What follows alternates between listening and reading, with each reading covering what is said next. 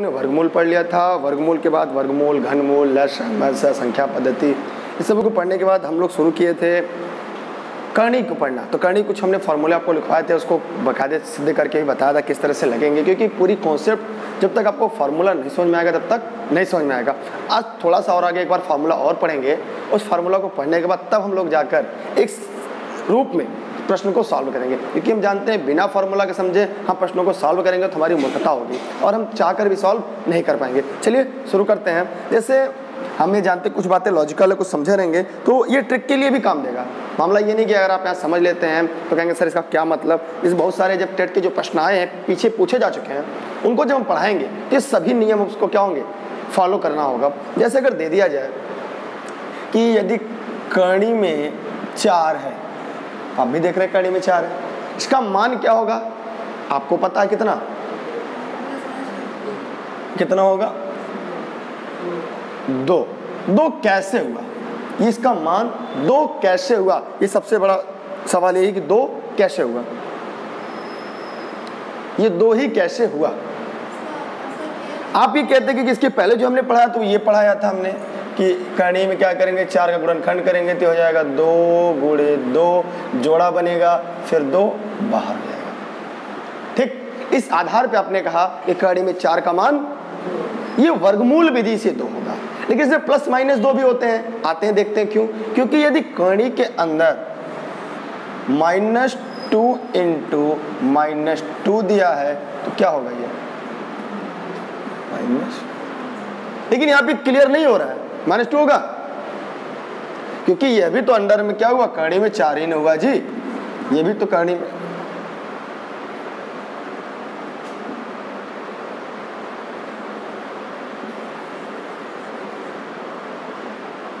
ये भी करणी में चार हुआ। क्योंकि हमें जानते हैं कि minus two into minus two equal to under root four. तो इसका मान जो निकलेगा, वो माइनस दो प्लस दो दोनों निकलेगा। क्योंकि ये चार का मान मैंने निकाला, फिर इसका भी निकाला। ये भी कड़ी में चार, ये भी कड़ी में चार है। इसलिए जब वर्गमूल निकालते हैं तो जो वर्गमूल का मान होता है, वो धनात्मक, ऋणात्मक दोनों सकता है। इसलिए इसका जो सही आंसर होगा, वो होगा प्लस माइनस टू माने प्लस भी हो सकता है माइनस भी हो सकता है। लेकिन हम ज़्यादातर केसेज में क्या देखते हैं? हम सदैव धनात्मक दिखा देते हैं, लेकिन ऋणात्मक भी हो सकता है। किसी से किसी भी संख्या का जो वर्गमूल ज्ञात करते हैं, वो धनात्मक और ऋणात्मक दोनों में से कोई भी एक हो सकता है। यहाँ तक कॉन्सेप्ट समझ में आया? और लिखते भी चला करिए। और आप स्क्रीन शॉट क्लिक कर लिया करिए दोनों चीज़ें, क्योंकि आपको इसकी वीडियो भी बाद में मिल जाती है। मिल जाती है ना? नहीं मिली? देखते हैं अच्छा। चलिए उपलब्ध करा देंगे। तो ये हो गया। इसको लिखते चलिएगा। क्या इसके अलावा भी कोई विधि है? आइए उसी विधि के बारे में हम लोग चर्चा करते हैं। और अलग अलग तरीके से फॉर्मूला भी पैदा करेंगे फॉर्मूले का जन्म भी करेंगे। ठीक? और इंडिविजुअल गणित भी शुरू कर रहे हैं हम। मंडे से इंडिविजुअल गणित भी आपके यहाँ शुरू कर देंगे हम? वैकल्पिक विषय के रूप में गणित। ऑनलाइन भी पढ़ सकते हैं आप, घर बैठ के। ये हो गया कॉन्सेप्ट क्लियर हुआ ना? बस मुझे ये क्लियर करना था। आगे बढ़े अब ना? हो गया ना?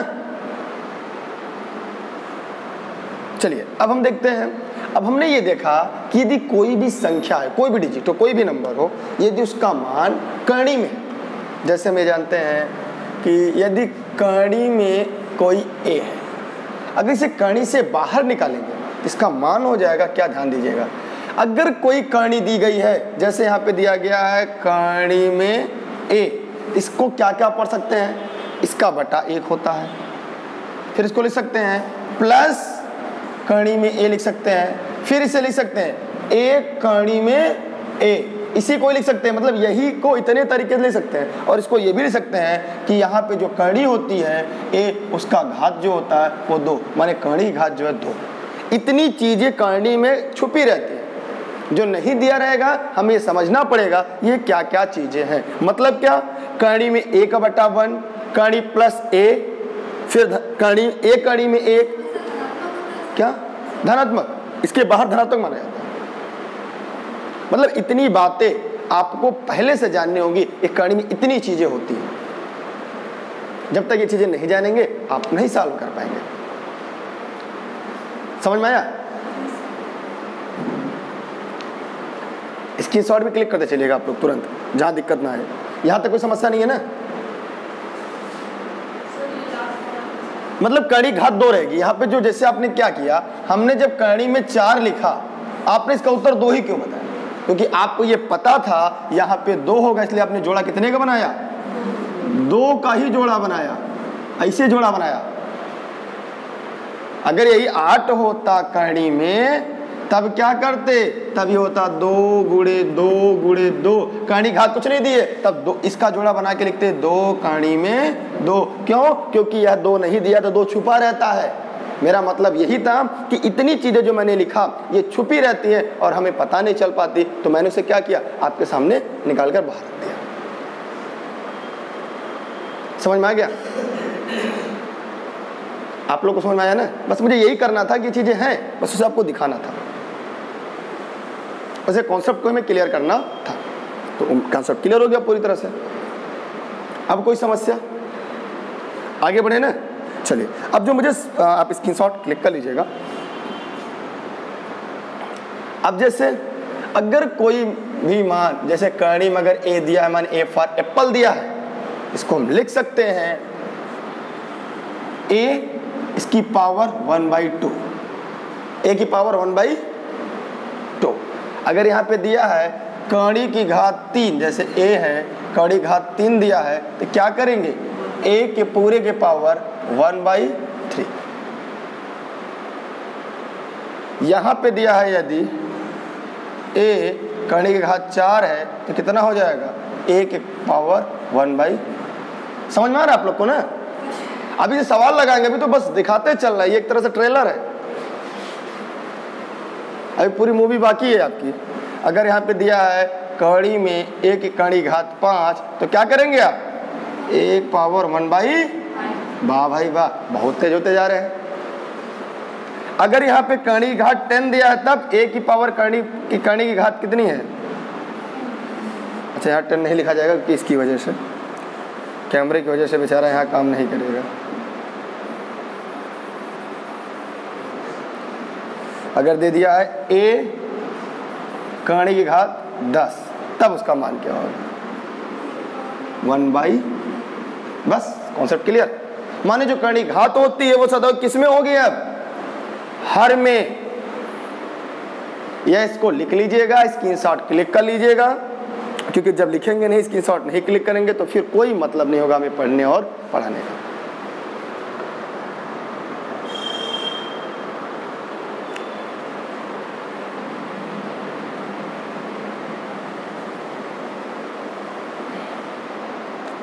अब इसको लिखते चलिए। बस मैं उदाहरण दे दिया कि आपको कॉन्सेप्ट क्लियर हो जाना चाहिए बस। अब आते हैं, इसके कुछ फार्मूले कुछ ट्रिक को भी पढ़ेंगे। यही सब ट्रिक भी बनाते चलेंगे, ताकि आगे आपको दिक्कत ना होने पाए। देखते हैं कैसे। सबसे पहला काम, अगर करणी में चार दिया है तो यह वर्गमूल तो दो आएगा लेकिन करणी विधि साल करें, कैसे लेगा ये देखते हैं। इसको लिखेंगे सबसे पहले हम। दो गुड़े दो। फिर ये हो जाएगा, कणी में टू के पावर फिर इसे लिखेंगे, कणी तोड़ेंगे तो टू की power two is equal to, पूरे पावर वन बाई टू। अब हम एक बात और जानते हैं, यदि हमने पढ़ा था इसके पहले, यदि ए घाते यम और पूरे के घाते यन हो तो हो तो तो ए घाते यम गुड़े यन, अर्थात ए घाते यम यन हो जाता है। तो अब यही नियम लगाएँगे। अब यहाँ क्या होगा?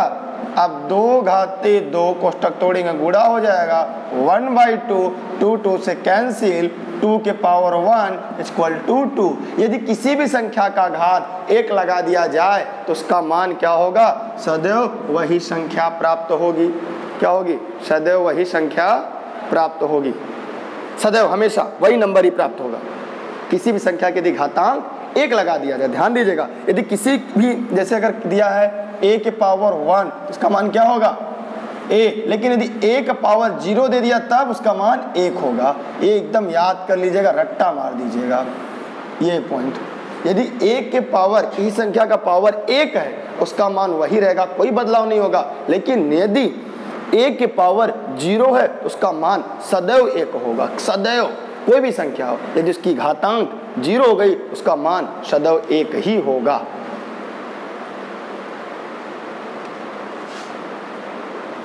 उसका मान क्या होगा? सदैव एक होगा।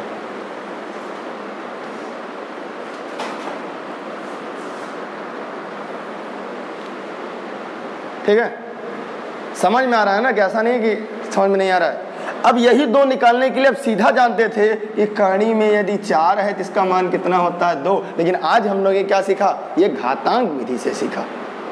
ये घातांक का ही रोल है। एक बात है हमने और सीख लिया, एक ट्रिक आइए देखते हैं क्या ट्रिक थी। इसको इरेज कर दें? कोई दिक्कत, समस्या नहीं है ना? चलो। अच्छा हमने यार टू क्यों लिया आपको पता है? या थ्री क्यों ले लिया? ये कणी घात दो। होती है स्क्रीन शॉट आप भी ले लीजिएगा ताकि हम लोग आगे बढ़ सकें। अब आगे बढ़ते हैं।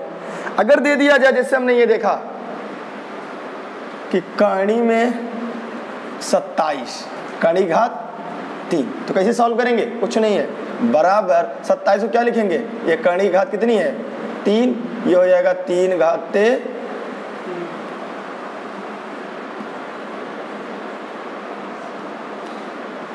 तीन घाते, फिर इसे लिखेंगे थ्री के power three whole power one by three one by three तो three power three into one by three three से डिवाइडेड थ्री के power one equal to three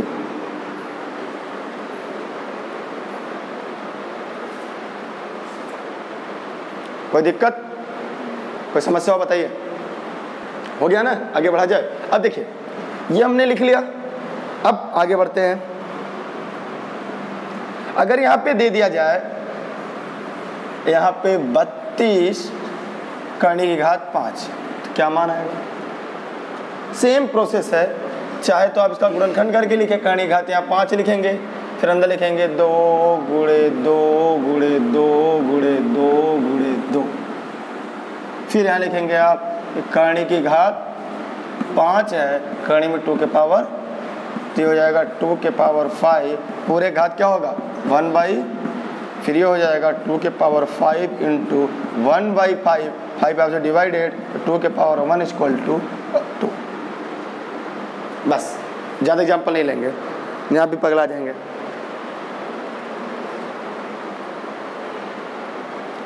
समझ में आ रहा है ना? अब यहाँ से एक फार्मूला निकला। क्या निकला? आइए देखते हैं। अब हमने एक बात गौर किया, आपने भी किया। यदि यहाँ पे अगर ए है और कर्णी की घात और संख्या की घात अगर समान है तो उसका मान सदैव क्या आएगा? ए आएगा। जैसे अगर हमने देखा, कर्णी घात यहाँ पे पाँच है, यहाँ भी पाँच है इसका मान क्या आएगा? ए माने यदि किसी भी, हमने क्या सीखा? कि करणी की घात यदि यहाँ पे यन हो और यहाँ पे भी यन हो तो उसका मान सदैव ए होगा यह हमने क्या किया? सीखा।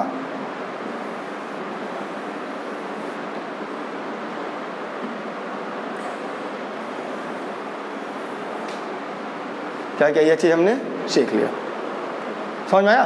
अगर कर्णी की घात घातांक समान उसका मान सदैव वही होगा। अगर ये पता होता, हम इतनी लंबी प्रक्रिया ना करनी पड़ती। ठीक है?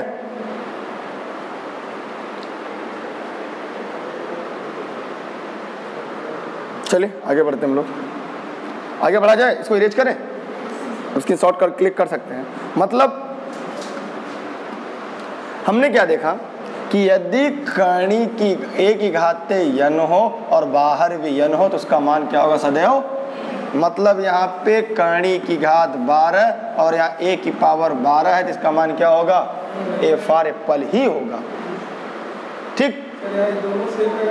तब क्यों तब होगा ये भी देख लीजिए क्योंकि ए के पावर ये बारह होता पूरे के पावर वन बाई बारह फिर क्या होगा? ए के पावर बारह इंटू वन बाई बारह कट गया ए के power one is equal to A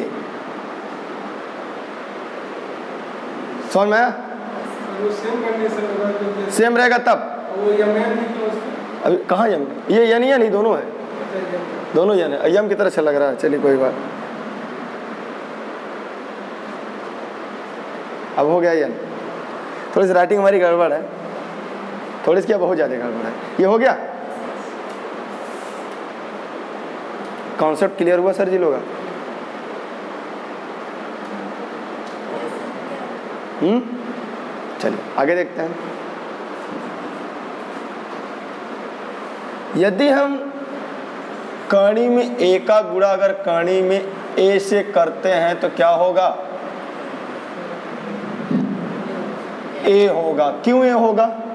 क्योंकि हम जानते कणी तोड़ेंगे तो ए घाते one by two into A का पावर वन बाई टू तो ए के पावर आधार समान घातांक क्या होंगे? तो ये हो जाएगा one by two plus one by two तो ए के power two one plus one A के power two by two cut गया ए के power one is equal to A तो अगर कणी गुणा कणी में करते कणी क्या होगी? टू डी अर्थात इसको हम ऐसे भी लिख सकते हैं कि यहाँ पे होगा कि कणी में ए का क्या हो जाएगा? स्क्वायर करेंगे तो भी क्या होगा? हमें ए ही प्राप्त होगा। क्यों? एक कणी घात वन बाई टू हो जाएगी, और जैसे टू होगी टू टू टू कैंसिल हो जाएगा। दो विधि से विधि और सॉल्व करके दिखा रहे हैं आपको। ये तो घातांक विधि हो गई। आप कणी मेथड से भी सॉल्व करके दिखा रहे हैं आपको।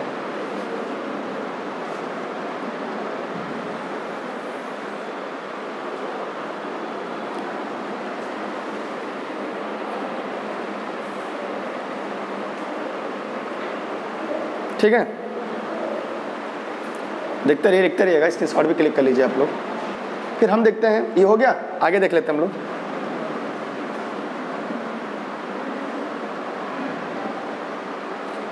अब यहाँ देखते हैं, जैसे अगर दे दिया जाए कि अगर किसी भी कणी में ए बी कणी घाते यन हो तो इसको क्या ले सकते हैं? ध्यान दीजिएगा। इसे हम अलग अलग भी ले सकते हैं।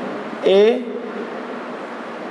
कणी घात यन इंटू बी कणी घात यन। जैसे अगर यहाँ पे दिया है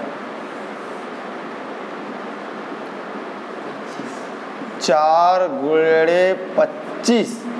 कणी की घाते दो। नहीं दिया तो दो ही माना जाएगा। तो इसको हम लिख सकते हैं कि कणी में चार की घाते दो, गुड़े कणी में पच्चीस की घाते दो। देखेंगे मान में कोई अंतर नहीं आएगा। यहाँ हो जाएगा दो गुड़े पाँच बराबर दस। ऐसे भी साल करते तो क्या होता? सौ होता, दो होता, तब इसका मान कितना आता? दस ही दस ही आता। और यहाँ भी दस ही आया है।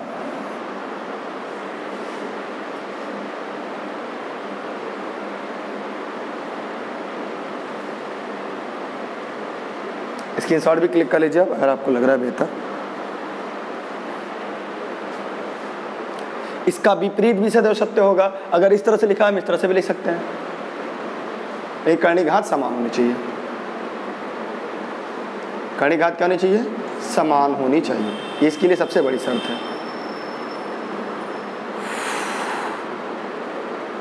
बड़ा लिख लीजिए, इसकी शॉर्ट भी क्लिक कर लीजिए आप लोग।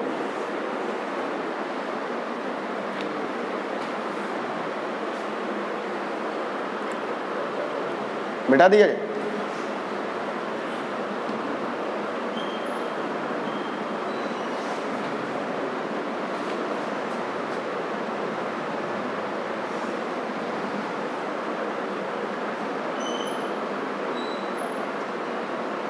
चलिए आगे देखते हैं। यदि इस तरह से दे दिया है प्रश्न में? यक्स बटे वाई। इसका मान क्या होगा? इसे लिख सकते हैं। यक्स बटे नीचे क्या होगा? इसका विपरीत भी सदैव सत्य होगा।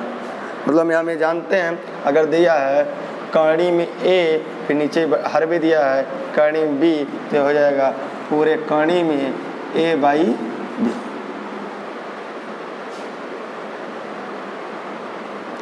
समझ लीजिएगा इसको भी। जैसे यहाँ पे दे दिया जाए कड़ी घाते चार बटे, यहाँ तीन हो जाए, यहाँ कड़ी घाते चार है, यहाँ आठ है। ठीक, ये आठ है।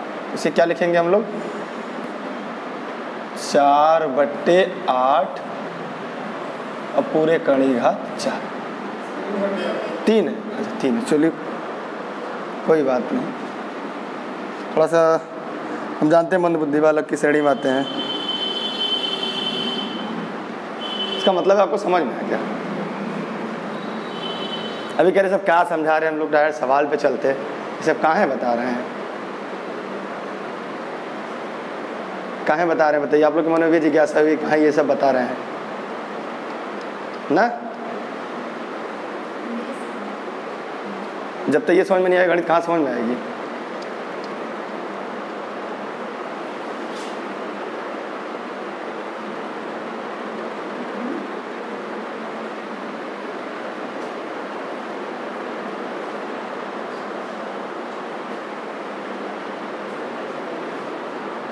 हो गया।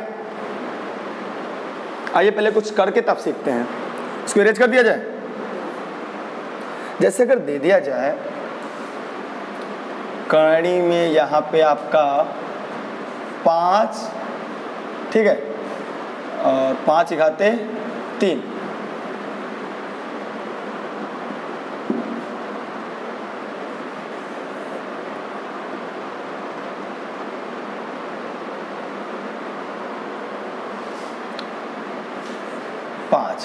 कणी घात तीन है और यहाँ पे पाँच घाते दो है। दो है क्या करेंगे? मतलब रुक जाइए फिर।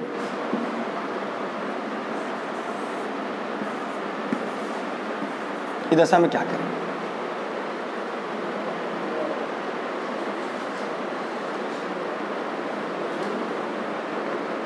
अरे इस दशा में क्या करेंगे बहुत ही आसान तरीका यहाँ पे हम लोग क्या करेंगे?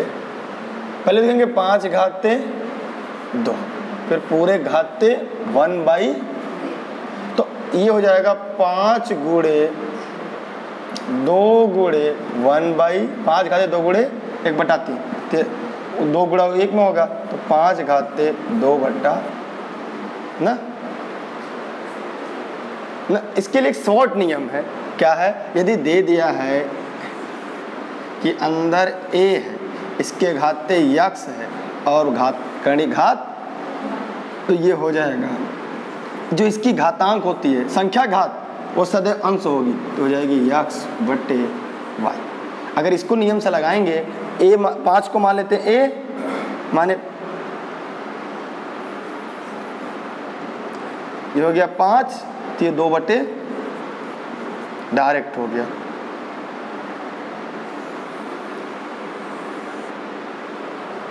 इतना प्रोसेस नहीं करना पड़ा।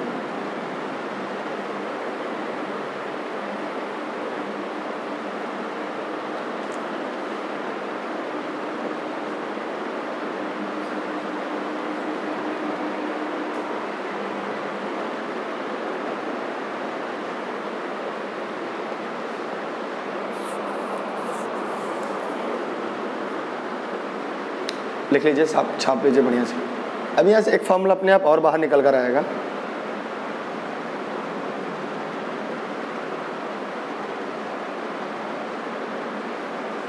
देखते हैं क्या निकल कर आता है। अगर किसी की भी करनी की कोई घात निकालना हो, जैसे यहाँ पे दे दिया जाए, पाँच घाते छः और यहाँ पे सात है तो क्या होगा ये? छः बेटा अगर दे दिया जाए कि नौ के पावर तीन बटे पाँच को कहानी में व्यक्त करें तो कैसे कहानी में लिखेंगे? अगर इसका उल्टा दे दिया जाए तो कुछ नहीं करना है। ये नौ हो जाएगा, जो अंश है वो यहाँ हो जाएगा और ये कणी की बस। ये ऐसे भी तो प्रश्न दे देगा कि भैया नहीं लिखिए तो कहानी में रूप में लिखिए, तब हम क्या करेंगे तब आप क्या करेंगे? उस दशा में हम और आप क्या करेंगे?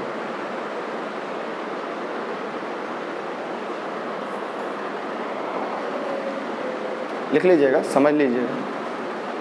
तो इसके बाद हम लोग प्रश्न को सॉल्व करेंगे, एक साथ घातांक करणी एक साथ हम लोग घातांक करणी वर्गमूल।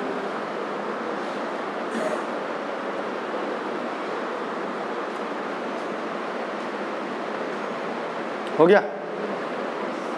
एक छोटा हुआ है, वही बता दें, फिर हमारा काम खत्म। अगर यहाँ पे दे दिया है, क्या? कि कर्णी की घात कोई, जैसे कर्णी घात हम मान लेते हैं। ए है। यहाँ पे कर्णी घात बी है। दिख रहा है बी नहीं दिख रहा है।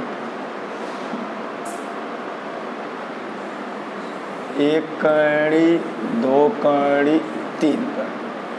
ठीक है, यहाँ पे है ए यहाँ पे है बी यहाँ पे है सी और यहाँ पे है यक्स तो ये हो जाएगा यक्स कौड़ी में A into B into C माने ए बी सी कौड़ी की घात यक्स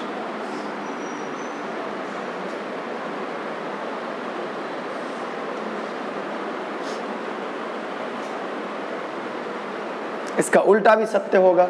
अगर दे दिया जाए कि कणी में ए की घाते यन यन है तो ये हो जाएगा। कणी में यंग, फिर यन, फिर ए। इसका विपरीत भी सदैव क्या होगा? सत्य होगा।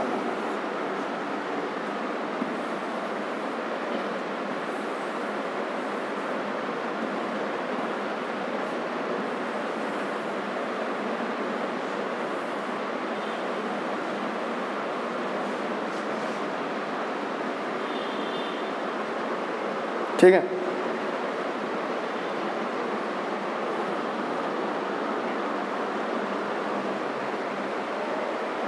हम इससे जुड़े प्रश्नों को भी सॉल्व करेंगे।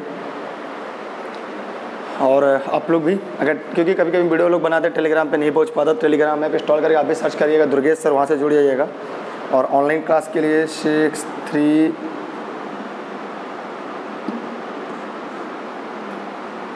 six three zero six three double four three six seven गणित की इंडिविजुअल क्लास भी आपकी जल्दी शुरू हो जाएगी।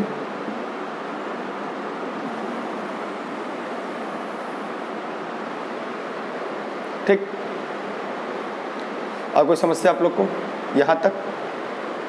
इसके बाद हम आते प्रश्नों को सॉल्व करते हैं। प्रश्न को सॉल्व करके फिर देखेंगे किस तरह से सॉल्व होता है, किस तरह से हल होता है। क्योंकि मामला ये नहीं कि हमने फार्मूला अगर पढ़ लिया तो हमें गणित पूरी तरह समझ में आ जाएगी। इसके आधार पर हम लोग और आगे गणित को पढ़ेंगे, जहाँ पे ये देख पाएँगे कि क्या वास्तव में गणित सरल है या नहीं। इन सभी नियमों को एक साथ मिलाकर पढ़ेंगे तो हम लोग को उसका लाभ मिलेगा। अगर एक साथ मिलाकर नहीं पढ़ेंगे, शायद लाभ नहीं मिल पाएगा। ठीक? आगे बढ़ा जाए। ठीक? चलिए इसके आगे हम लोग फिर पढ़ते हैं। यहाँ तक आप लोग आज इतना बस करते हैं, फिर आगे बढ़ें